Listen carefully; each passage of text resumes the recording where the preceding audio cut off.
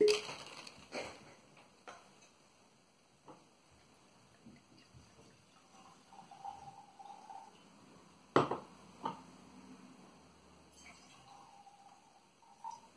chin. Hello and welcome to Space Cuntinuum. Yeah, you heard that right. It's Space Cuntinuum. That's us. Oh yeah. So, what we got here for you today It's me, Lena. Uh, did a lot of different things. I call myself Traveling Jill of all trades. Uh, I do have some uni studies to verify my claims to be quite kind of smart. Most of the times, you know. Yeah.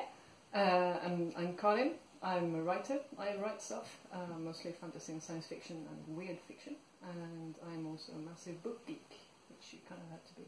Same here. And basically, we are going to geek out about books, mostly about go- books that um, subvert norms, but also about stuff we just like. And um, drink port. Well, t- today we're drinking port anyway. Exactly. Cheers. Cheers. So where do we start? So I think the idea was that today we'll talk about the books that define us the most, the books that are our our blood line, what called, that quote by Thomas Mann. Books are the arteries of the soul. Exactly. Yes. So which books do we have in ourselves?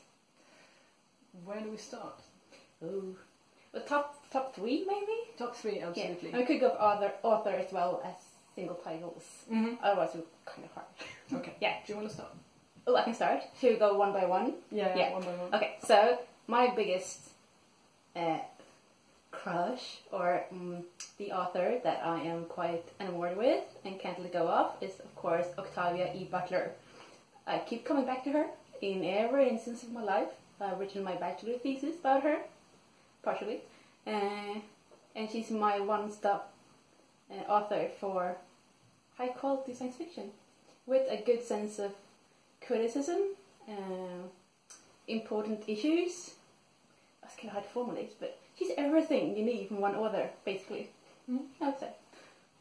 So, uh, one of the writers that have influenced me the most and who I love to bits and will for all my life is Ursula Le Guin, who has I've um, followed her books from when I was a- from since I was a child uh, and read um, The Left Hand of Darkness and uh, Wizard of Earthsea until present day and. Um, just like Octavia Butler is your one-stop shop for for stuff, so is Ursula Le Guin for me. Um, yeah. Yeah. Yeah. Alright. So, on my second place, I would say, oh, it's a bit harder actually. Octavia E. Butler is always my, yeah, I can always pop that one out. Yeah, I love Octavia Butler. But the second one, I think, would have to be Neal Stephenson. These are all like the bestseller names, I know this. But Neal Stephenson is the one author I would immediately pick up his latest book and drop everything else. I've dropped university courses because of Neal Stephenson's books. wow, Uh, what's on? The Baroque Cycle. Ah. Yeah, yes, you start reading one and you get stuck ever. It's, it's a good psychology course, but it's better reading Neil Stephenson. Mhm. Uh, I find the scope of his books to be amazing. They're quite intricate. Well, at least there's a lot of stuff happening, and he weaves it together quite well, uh, really well, I would say. And I haven't read a book of him that's not great, except maybe his very first one, but he's kind of excused himself there as well. uh, so definitely Stephenson. Mm. I wouldn't say there's a, there's a lot of. There's two different things I get out of Octavia E. Butler and Neal Stephenson. From Neal Stephenson is the craft and his amazing storytelling and the very complex stories. While Octavia Butler, it's mostly the ideas, I would say. So they're two giants for me, but in different ways. Mm. That's a good one. Yeah. I think for me the second one would have to be Tove Jansson. Oh, Yeah, that's right. I know. Uh, That's very cute of you. Sorry. Thank you. um, what I find um, interesting is that um, her stuff is marketed as being very cute and for children. when in fact a lot of her stuff is very, very dark. And um, in fact, as a child, I was terrified of most of her stories because they were so dark and so scary. The Uh, characters are quite scary as well. Oh them. yeah, absolutely. Uh, but I think I needed them. Um, I think children do need dark stories, and Tove, she understood that need and she gave it to to them, pretty much. And I've found um, them to be even more fulfilling to read as an adult, uh, especially her novels. Yeah, I haven't read them exactly. Oh my God, you haven't? No. What have you read? Oh, I read Neal Stephenson. Took all my time. Fair enough. So what's your third one? Oh, I thought I was just thinking about that one because Mhm. that one's really hard. Um, so many. But I would have said Joanna Russ, Mm. definitely. Mostly, I- I've never found an author as angry as she is and able to put it into wor- words. Mm. Uh, I love her essays primarily uh, about everything about women writing about the basically about well she writes from a second wave feminism angle and everything she writes is fantastic. It's so filled with anger in a very righteous way and very humorous as well. That I find very very impressive. And I like her stories as well. I'm not attracted to reading her stories because they're so hard to read usually Mm. but I always get quite a lot out of it in the end. It's more like going for that exercise you really know you need, but you don't want to go. But afterwards, it's fantastic. That's Joanna Russ for me. Reading her novels and short stories. I love how she is so entertaining at the same time. As in, she I have never seen an author be so angry and so funny at the same Yeah. time. Do you remember the the short story with? Um, I think it's called the uh, Attack of the Cliches from Outer Space. Oh yeah, I told me I haven't read it yet. I have the book, but Oh, I'm it's gonna read brilliant. it. Yeah. It's brilliant. It's about this this author who finds a haunted typewriter, or her, her typewriter becomes haunted by cliches, and she has to type them out in order to exercise the typewriter. It's absolutely brilliant. Yeah. She's very very funny. Mm. One of the early like out lesbian writers as well. Mm. So who's your third top pick? Um, this one is really hard. Um, I think that one of the writers who has been most important to me uh, as a teenager was Neil Gaiman. Um, but, uh, and this is a big but, uh, only his graphic novels. Oh yeah, yeah. I was see never a huge fan of the prose, but the graphic novels, The Sandman and the Books of Magic, have been tremendously important to me. And the way I view the world, um, pretty much that the world is built on story, and uh, the way the world of the imagination works, the way I sort of he taught me how to kind of tap into my own dream world and That's- use that for storytelling. That's quite fantastic. Yeah, I understand. it is. Yeah. Yeah. So I'm thinking, are the main difference between us two, Mhm. I believe that, is that you're a writer and I'm not a writer. How do you think that influences the choice? Uh, do you think, because mm, me as a non-writer is thinking, you look primarily at other authors at their writing and compare, have some kind of relationship? Do you see it from your own writing, or can you read books uh, purely as a reader? No, no, I cannot. I, it's. I these days I absolutely cannot read a book without thinking of it, um, without thinking about the craft, um, without thinking about it as a as a writer. Either, either it's oh I wish I could do this. Like when I read um, China Miéville, The Last Days of New Paris, I was yeah. like, I could never do this. I might as well just, I might as well just go home and hide under a blanket and never write a No. word again. It was that good. Yeah? Yeah. Oh, okay. Um, or it's the I see what this person is doing, I might be able to get some ideas from this, or what the hell is this person thinking? I could do this so much better. Oh yeah. So it's you, I have these writer glasses on that I find it are very very difficult to take off. It lived on. Yeah, That's what I have from other friends as well who Yeah. writes.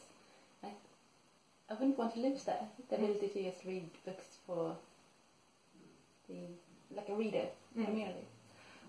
I know. Actually, I had I had an experience. Well, I do get get a I get the reader experience from some authors, like Yeah. Charles Stross. Oh yeah. His laundry files. Yeah.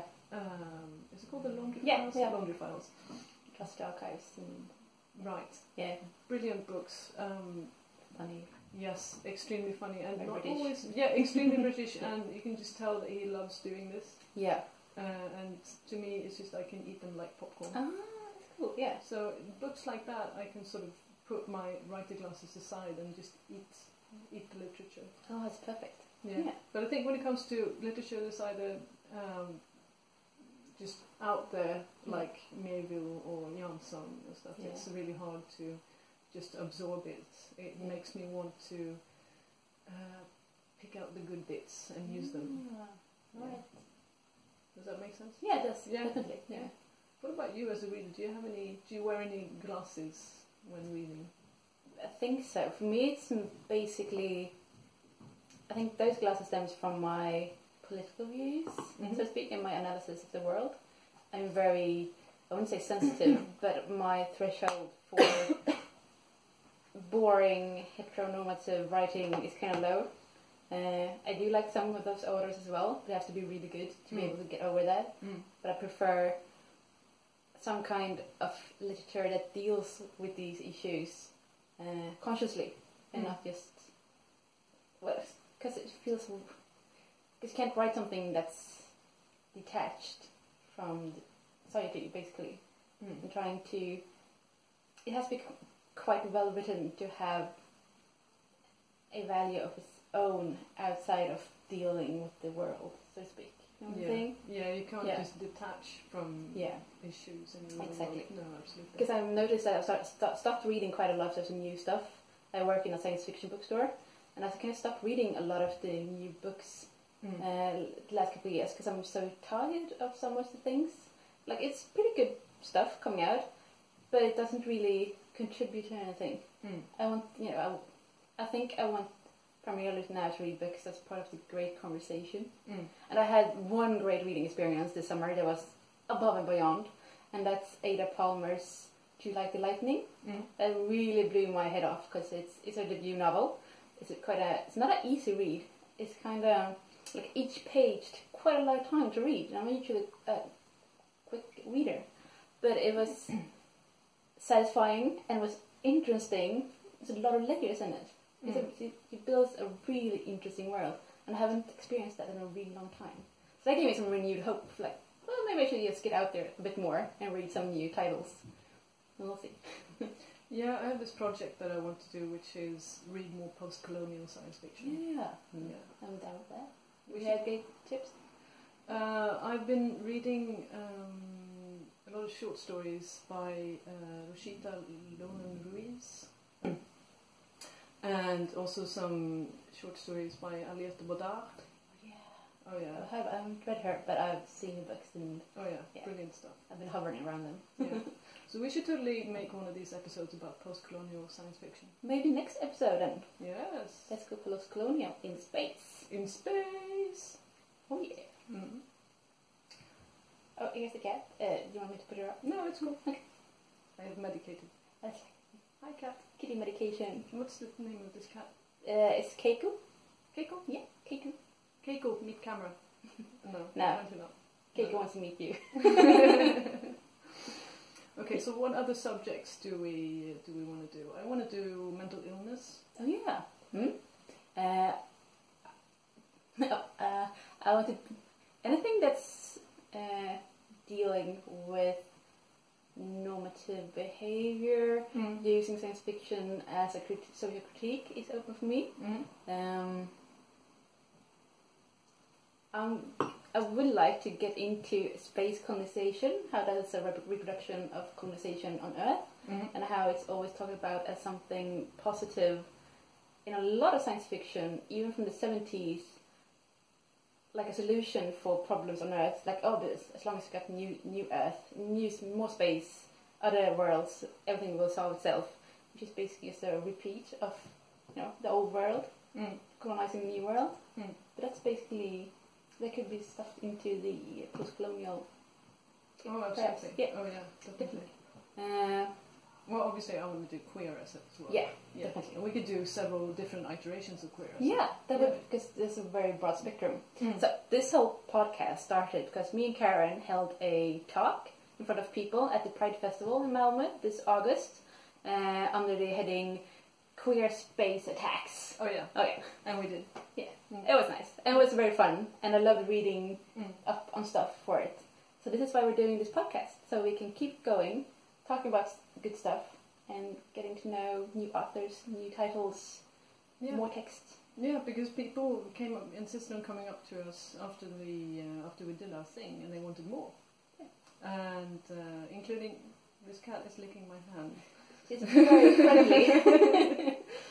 she Um, wants you to pet her. Uh, they also said we should do a TV show. Yeah. So here we are. Here we are. We're getting down with the YouTube generation. Yeah. That's the most old latest thing I've said in a long while. well, yeah, that's and that's part of the charm with us, Yeah. isn't it? Yeah. Yeah. Yeah, that's that's why we have the talk, yeah? Yes. Cheers. Cheers. So, what have you read lately? What are you reading right now? Oh, I'm not reading anything at the moment. Mm-hmm. I haven't read a lot of stuff. I did read uh, two of the most hyped books of the Swedish um, book. Uh, uh, um, two new titles this autumn. Uh, that was really interesting, but but they both focused on quite a heteronormative relationship and how to subvert subvert subvert things within the context rather than changing the context and they're were non-fantastical. So it's like they're good, but mm, No special effects. yeah, exactly. Keep Hi. For some reason, the camera turned itself off. Yeah, but we're back now. We're back. Or are we? This is a parallel dimension. The glow cloud. Yeah. So you read stuff that didn't have any special Yes, Yeah. mm, but Muggle books. Muggle books. Yeah, Muggle books from the Yeah. bestseller thing. It was interesting, Mm. but I'm longing for my my other books. I've had quite a long stint of uh, reading quite a lot of 70s, so the new soft wave uh, science fiction written by women primarily. Mm. Um, so I'm going to get back to that. Mm-hmm. Sounds good. Yeah. I have. Um, I was.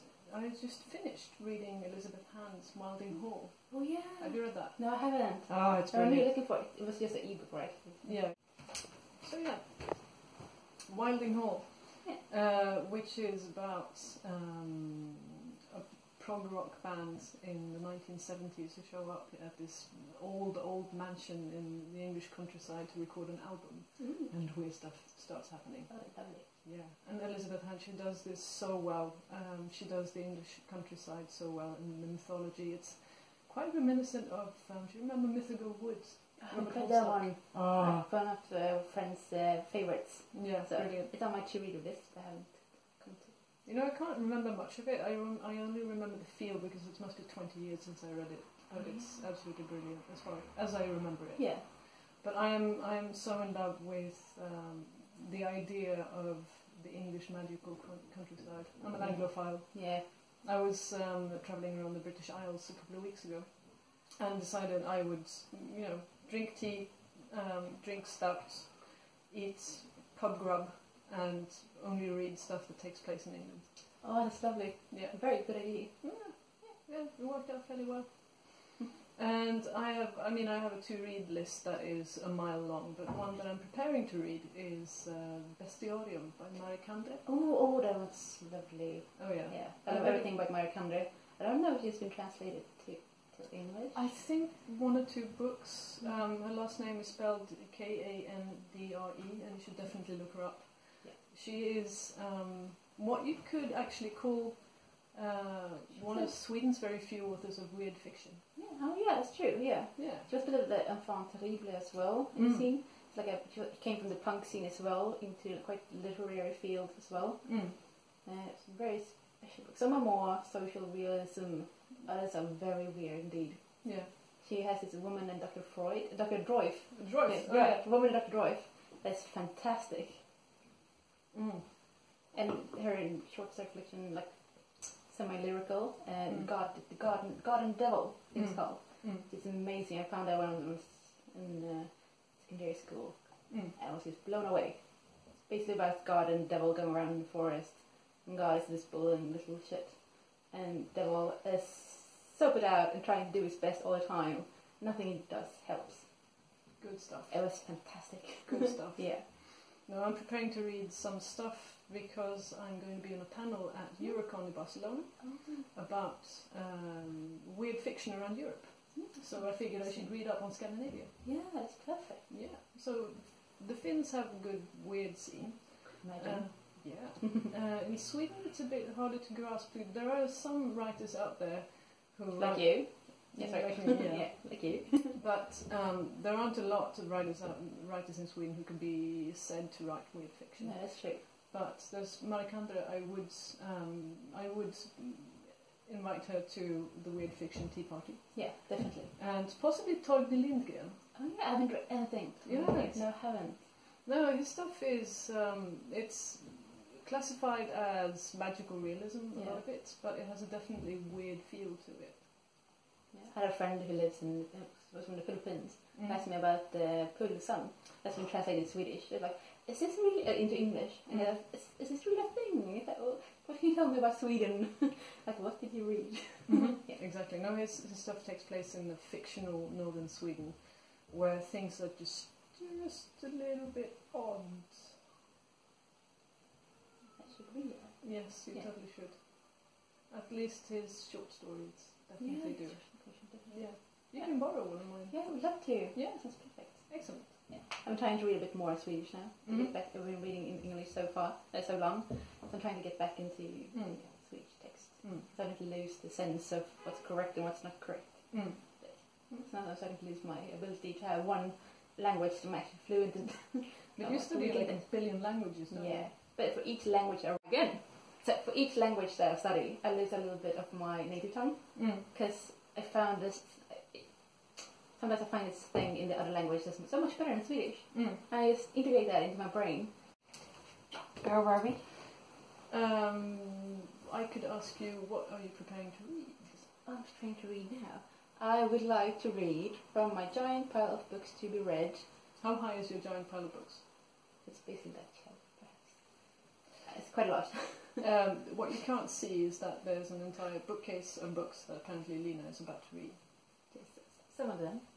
Yeah, some of them. Yeah, it's kind of yeah. I have some books that's on my to read list that are like 20 years old. Mm. So, but what I would like to read soon is either Nicola Nicola Nicola Nicola? Nicola Griffith, uh, Ammonite. Ooh. I got that one. hmm Or perhaps one of my Joanna Russes, or some Connie Villas. Depends on feeling. hmm So this is definitely something of my favorite female authors. Sounds good. That's basically it. And you? You had yeah you. you Yeah, I'm reading that, and then I, I think I'll be reading a book called Texas Whiffer. oh yeah, Björn Tevelund. Yeah, Swedish urban fan. No, Western weird-ish. Exactly. Yeah. Western weird. We like Western weird. Yes, we do, don't we? Yeah. I You'll have to give us a report in the Oh, next yeah. episode Absolutely.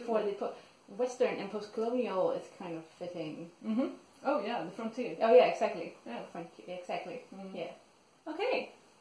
Sounds good. Yeah. So I think that's us. Uh, that's it for us Yeah. today. Signing off for today. Yes. Hope you like this as much, much as we did. Yeah. Cheers. Cheers.